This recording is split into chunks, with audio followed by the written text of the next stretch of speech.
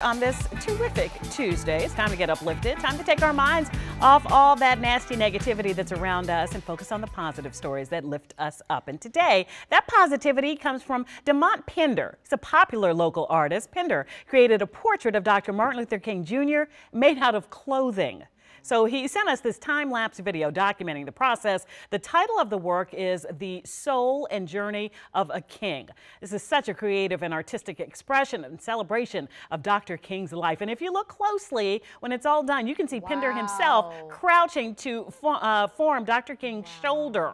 He can literally say he put all of himself into this creation. And to find out where you can see more of Demont Pender's work, stop by our website, WUSA9.com.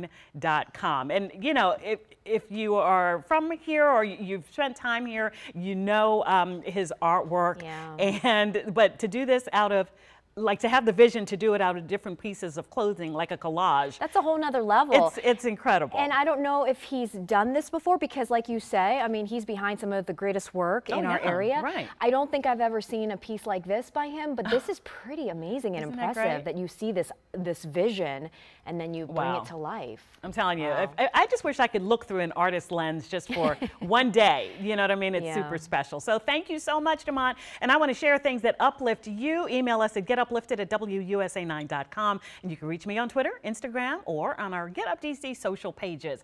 And as always, join the conversation by using that hashtag GetUpDC.